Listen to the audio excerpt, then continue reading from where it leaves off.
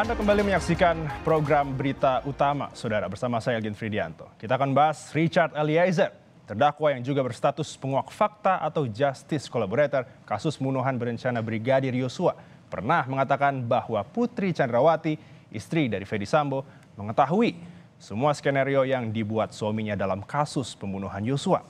Eliezer menyebut saat Ferdi Sambo menjelaskan skenario tembak-menembak di lantai tiga rumah, di sana juga ada Putri Chandrawati yang turut mendengarkan pembicaraan mereka. Lalu, benarkah keterangan yang diberikan Sambo CS merupakan bagian dari skenario? Jika iya, mampukah Eliezer meyakinkan majelis hakim? Saudara, setelah skenario tembak-menembak antar polisi terbongkar, motif pelecehan seksual pada Putri Chandrawati jadi cerita baru Ferdi Sambo yang dijadikan alasan mengapa dirinya membunuh Brigadir Yosua. Di persidangan saudara Sambo sempat menceritakan dengan detail bagaimana Yosua merkosa istrinya di rumah pribadinya di Magelang, Jawa Tengah. Ia pun mengaku kesal mendengar apa yang diklaim dialami istrinya itu. Perkosaan yang mulia. Kemudian dia mengancam juga dan menghempaskan istri saya. Saya tidak kuat mendengar cerita istri saya yang mulia. Dia juga menangis waktu itu. Saya emosi sekali yang mulia. Saya tidak bisa berpikir bahwa ini akan terjadi pada istri saya yang mulia. Saudara dugaan pelecehan seksual sebagai motif Sambo melakukan pembunuhan terhadap Yosua sempat digali jaksa penuntut umum saat menghadirkan ahli kriminologi dari Universitas Indonesia di persidangan. Dalam keterangannya, ahli justru heran dengan terdakwa Ferdi Sambo yang tidak melakukan upaya visum terhadap Putri Chandrawati yang mengaku mengalami pelecehan seksual. Menurutnya, sebagai perwira tinggi Polri berpangkat Inspektur Jenderal, seharusnya Sambo paham proses hukum sehingga meminta istrinya melakukan visum sebagai bukti adanya dugaan pelecehan. Jaksa pun mempertegas apakah dalam kasus ini pelecehan bisa dijadikan motif. Ahli menjawab tidak bisa. Karena tak cukup bukti. Ahli justru menilai ada kemarahan lain yang jadi sebab terdakwa menyusun rencana pembunuhan Yosua. Bagi seorang perwira tinggi polisi, dia tahu kalau peristiwa perkosaan itu membutuhkan bukti dan saksi. Ya. Satu alat bukti tidak cukup dan harus ada visum yang diperoleh.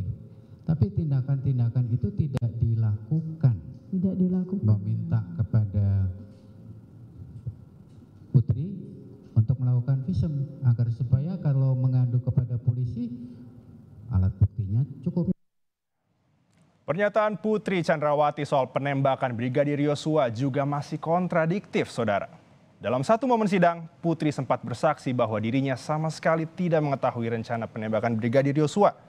Namun, dalam momen sidang lainnya, saat ditanyai majelis hakim, Putri mengakui mendengar suara tembakan dan setelah itu menutup kupingnya di dalam kamar rumah dinas Ferdi Sambo di Jalan Duren 3, Jakarta Selatan.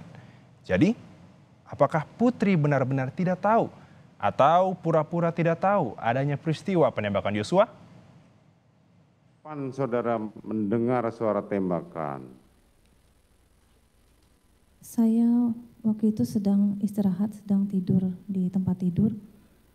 Terus saya mendengar uh, seperti suara-suara gitu, ribut-ribut. Terus tiba-tiba terdengar letusan.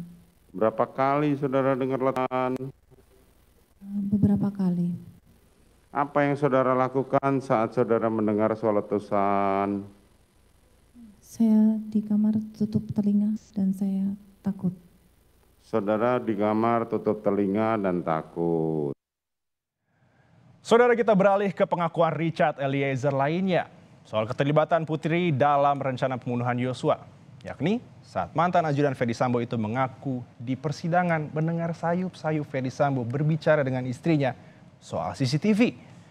Eliezer lebih lanjut menjelaskan CCTV yang dibicarakan ini adalah CCTV rumah Duren 3. Selain CCTV, Sambo dan istrinya juga berbicara tentang sarung tangan.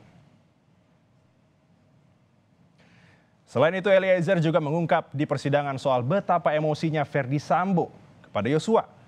Eliezer mengatakan saat Sambo berbicara dengan dirinya, Sambo dengan raut wajah emosi sempat menangis sambil mengatakan bahwa Yosua itu kurang ajar.